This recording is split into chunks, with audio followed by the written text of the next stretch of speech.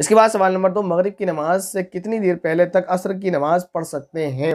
मगरिब की नमाज़ सूरज के गरूब होने से पहले पहले तक आप पढ़ सकते हैं। सवाल नंबर तीन